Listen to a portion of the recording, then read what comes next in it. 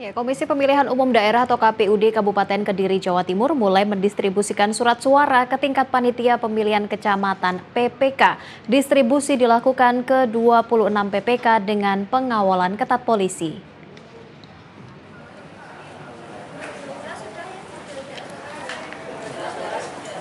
Pendistribusian ini diprioritaskan ke PPK yang letaknya paling jauh.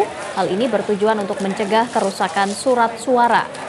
Hal ini pun dilakukan karena khawatir terkendala hujan dan cuaca buruk. Kelengkapan logistik lainnya seperti alat coblos dan kotak suara telah didistribusikan terlebih dahulu. Distribusi ditargetkan selesai tanggal 2 Desember 2015. Sebanyak 700 polisi pun ikut mengamankan distribusi ini.